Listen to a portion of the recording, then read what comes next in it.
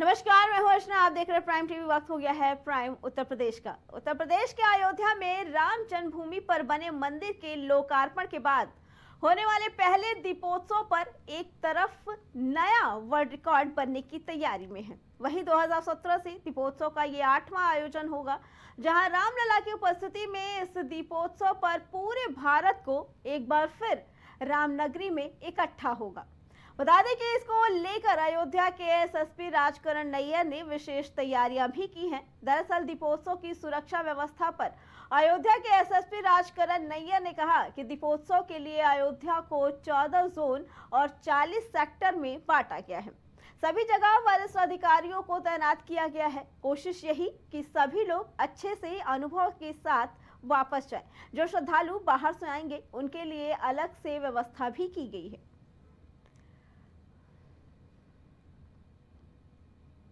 प्रयागराज में धनतेरस और दिवाली को देखते हुए शहर के बाजारों में चहल पहल बढ़ गई।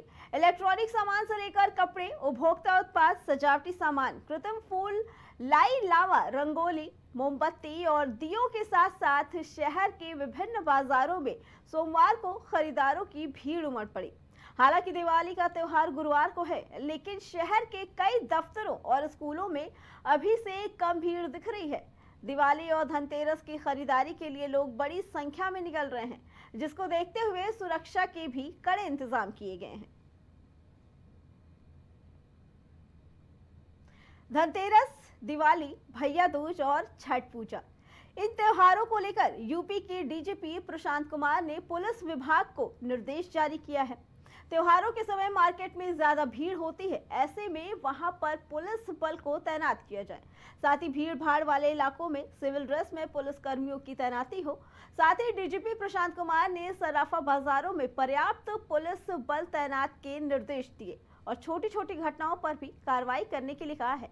यूपी के डीजीपी ने पुलिस विभाग को bus station, railway station, shopping mall और भीड़ भाड़ वाले सार्वजनिक जगहों पर विशेष नज़र रखने के निर्देश दिए।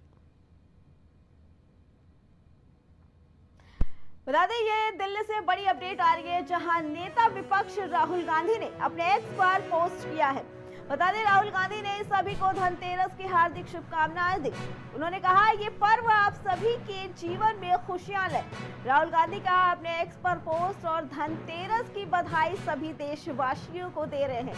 बता दें कि राहुल गांधी ने सभी देशवासियों को धनतेरस की हार्दिक शुभकामनाएँ दी। उन्होंने अपने एक्स पर पोस्ट करते हुए लिखा कि ये दिवाली आप सभी को मुबारक हो। सभी को धनतेरस की हार्दिक शुभकामनाएँ। सभी को इस वर्ष की त्योहार, ये पर्व आप सभी के जीवन में खुशियाँ लेकर आए।